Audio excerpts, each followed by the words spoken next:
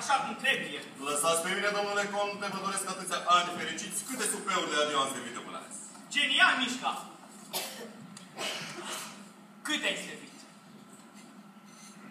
Două. Mișca! Masa aceasta va fi și masa mea de adio. De ce? În această seară plec la Paris cu Silvia. Dar pst, nici o vorbă lui Edwin.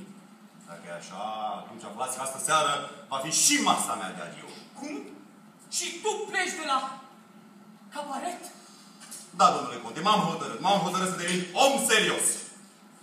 Ai dreptate, Mișca. Și eu am hotărât să încep o nouă viață. Cine știe? Poate voi încerca să și muncesc? Oh! Mai, dar nu trebuie să exagerați, domnule conte. Da, ai dreptate. Că deocamdată m-am gândit doar.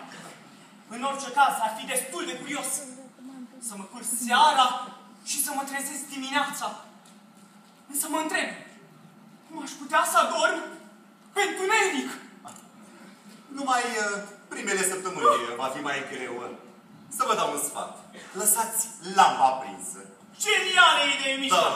Dacă am să plec de la cabaret, Unde să pleci? Hai, fetițelor, nu-mi sfârșiați inima. Mă despart și așa atât de greu de voi, pisicuțele mele.